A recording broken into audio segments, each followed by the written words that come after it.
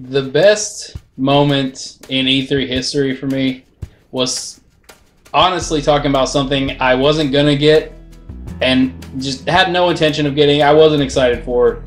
Nothing to do with it excited me. Except for Kevin Butler's speech about PlayStation Move.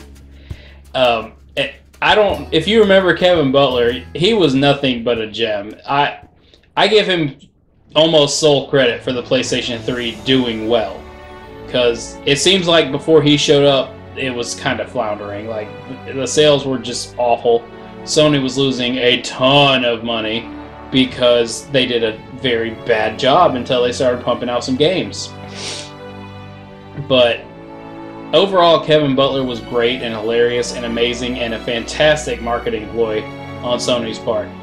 But his speech about gaming in general and his little digs at Nintendo were pretty awesome too, with to do with the PlayStation Move about how you know we should all unite casual gamers, hardcore gamers, every kind of gamer should unite under one banner, essentially. Not necessarily under one console, but I don't know. It was a very unifying and amazing and funny speech. And to top it all off, when he was going toward the crescendo of his speech, he had a picture of him with like the PlayStation Move graphics all over the place holding a bow and arrow. And it just exemplified like probably my favorite marketing strategy uh, any video game company's ever done was just this ridiculous character.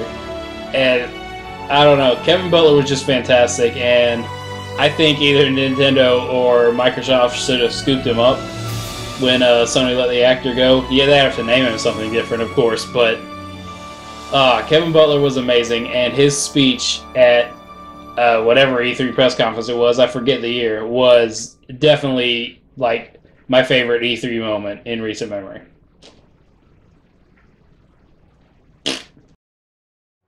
Because every gamer is a true gamer.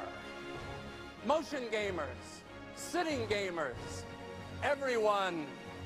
And though we may pledge fanboy allegiances to different flags, deep down inside we all serve one master, one king. And his name is gaming. Forever may he reign! Over the years, we have had a lot of great E3 moments. But I think my favorite overall is when Nintendo just surprised us all and busted out the Twilight Princess reveal trailer. Like, that was such a great trailer. Got everybody excited. You could just hear in the crowd that people's lives were changing. I mean, people cried because the game was so beautiful to them. And I mean, it did. It, in my opinion, that's still probably the best looking Zelda because everything's so detailed and textured. But that just topped off an already good E3 performance from Nintendo. And it was just such a surprise, and everybody loved it so, so much. But before you leave, I'd like you to step inside one more world for Nintendo GameCube.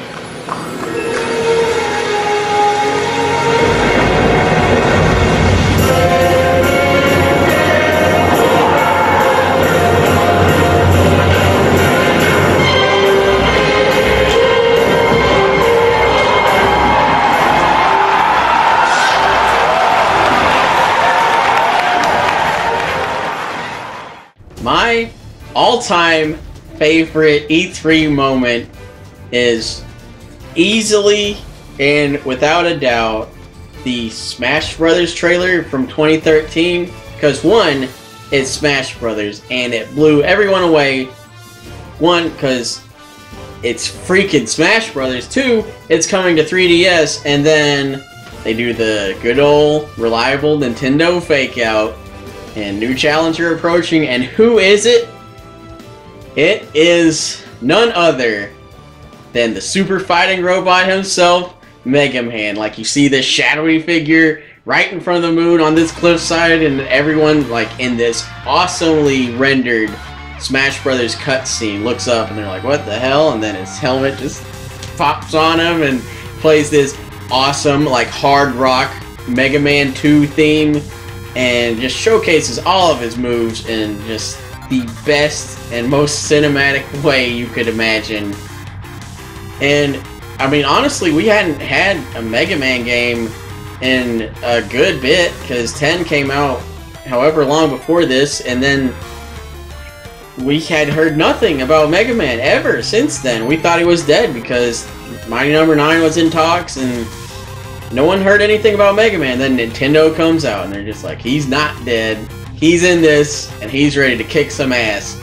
Like, I've never been so excited I couldn't physically hold it in until that trailer happened because I was just shaking and I I, I just ended up running laps around my house because I was so excited that Mega Man was coming to Smash Brothers. Hey, thanks for watching. Did you like the video? Why don't you hit that like and subscribe button? It really helps us grow the channel. And don't forget to ring that bell to join our notification squad. Also, you can follow us on Facebook, Twitter, and Instagram. I put the links in the description just to make it easier for you to get to. And we will catch you next time for the next video from the Bro Trio.